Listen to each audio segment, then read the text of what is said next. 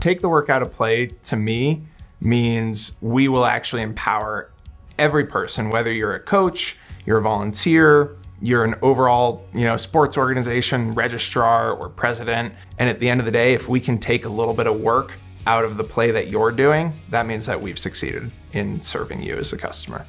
Like right there, that, that's our mission. Like it shouldn't be hard. It shouldn't be difficult. This is sports. Let's make it easy. Let's make it fun. We're there to help our customers in any way that we possibly can. They're not just a number to us.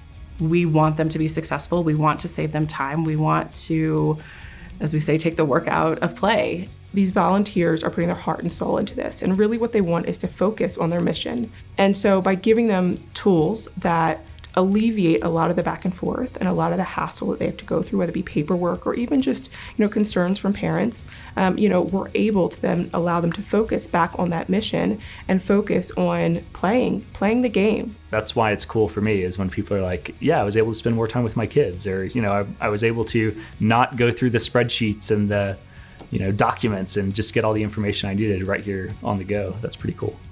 You know, as the general manager, of a line of business, there is nothing better than seeing the excitement, the energy, the innovation that comes from the team and knowing that they are all aligned to doing what's right for the customer and having the core principle that if our customers succeed, we will succeed.